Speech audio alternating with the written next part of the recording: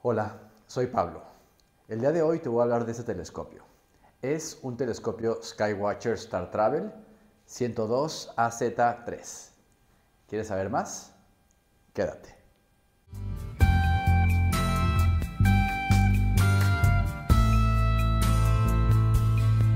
El telescopio que vamos a evaluar es de la marca Skywatcher y el modelo es Star Travel 102 AZ3. Es un telescopio refractor. Eso quiere decir, es como esos de los piratas. Funciona con lentes. Tiene una apertura, que es este diámetro del lente, de 4 pulgadas, o sea, 102 milímetros como su nombre, y una longitud de 600 milímetros, la longitud, longitud focal o de lo largo. Se supone que es un telescopio para viaje. Yo cuando vi que era para viaje, por eso lo compré, el telescopio pues no es de gran tamaño, pero no contaba con el tripié. Este sí es, pues, está bastante grandecito, es bueno, pero pues es algo bultoso, ocupa espacio. Entonces, vamos a, vamos, les voy a enseñar un poquito más de esto. Miren, empezamos aquí con el tripié.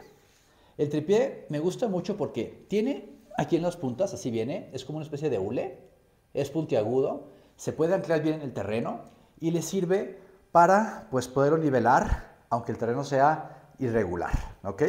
Tenemos ahí, son, pues, son tres, eh, patas para que lo acomodes a la altura que quieres. Eh, después tenemos aquí esta bandeja. Aquí puedes poner tus oculares o cosas que para ti sean importantes. Y tenemos a, al gol. Eh, la altura es desde aquí hasta el piso son, es más o menos hasta un metro con 25 centímetros, es la altura máxima. Pasamos al tema aquí de la montura. Esta montura, que es en donde está empotrado el telescopio, se le conoce como alt-as o altitud azimut. ¿Eso qué quiere decir? Quiere decir que gira de, de abajo hacia arriba, o sea, lo movemos así, y puede hacer que el telescopio gire hacia abajo o hacia arriba, o de un lado hacia el otro. Esta parte es manual, es muy bueno para principiantes, sobre todo porque es muy fácil y muy rápido de montar. Tiene además la ventaja, bueno, lo vemos aquí de diferentes ángulos, los lentes así súper oscuros para que deje pasar mucha luz.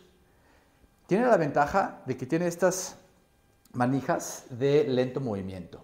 Eso sirven para poder hacer ajustes cuando tienes una estrella, un planeta que se está moviendo, esto sirve para que puedas, si se, mueve con el paso del tiempo, uno o dos minutos sale de tu campo de visión, con este lo giras hacia un lado y empieza a girar hacia un lado, cuando lo vemos así, giramos, empieza a girar hacia afuera o hacia el otro lado, bueno, y gira en la dirección contraria, pero muy lentamente, de un lado hacia otro.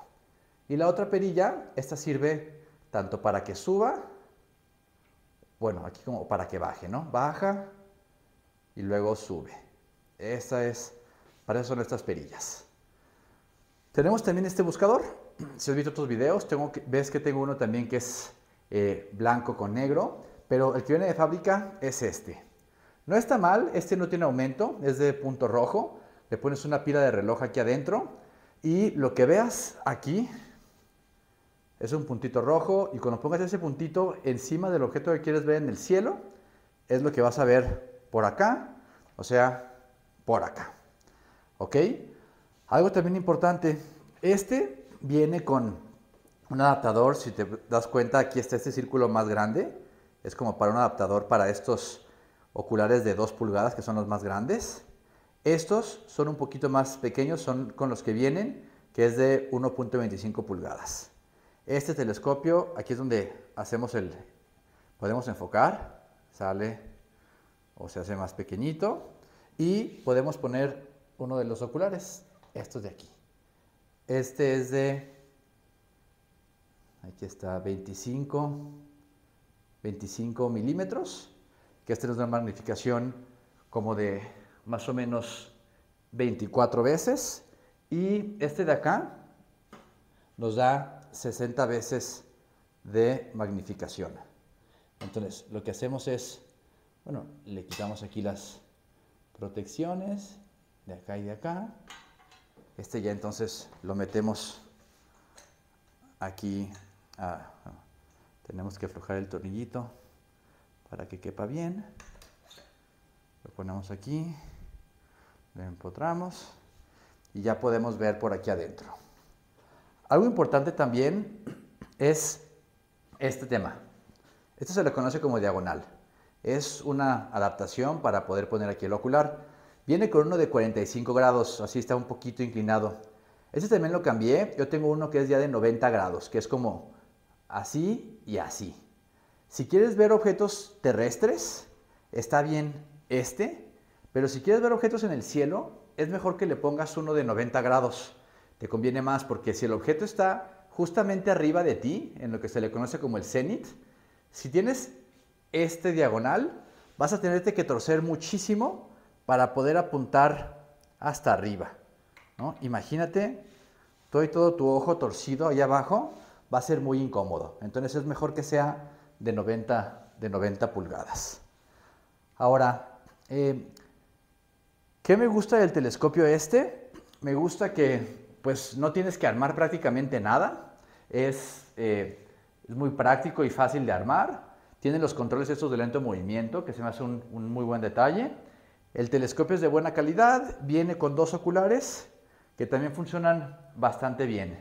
¿Qué es lo que me gustaría? Que viniera de planta pues con el ocular que ya comentábamos, bueno, no con el ocular, con la diagonal esta de 90 grados, porque pues es un gasto extra.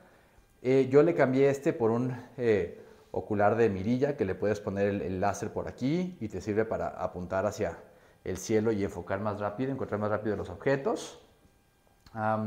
pero bueno, cosas buenas es que pues también este a partir de 4 pulgadas, que es eso de aquí, a partir de esta, de esta apertura, ya puedes ver objetos de espacio profundo en lugares oscuros. También es, muy bueno para astronomía visual. Si quieres usar ya la computadora, ya la montas, montas acá para temas ya con la computadora, eso es ya otro rollo. Este telescopio no está pensado para eso. Em, y pues es bueno para principiantes, si te lo quieres llevar al camping, por ejemplo, pues este es, relativamente robusto, no tienes que colimarlo ni nada, y eso es bastante, bastante práctico. Em, y pues bueno, esto será todo. Gracias por seguirnos. Y recuerda, esto es Astronómica TV, mi nombre es Pablo. Y recuerda, en astronomía como en lo demás, de más allá.